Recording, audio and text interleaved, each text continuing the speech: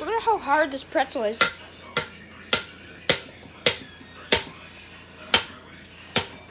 I finally exploded it into pieces.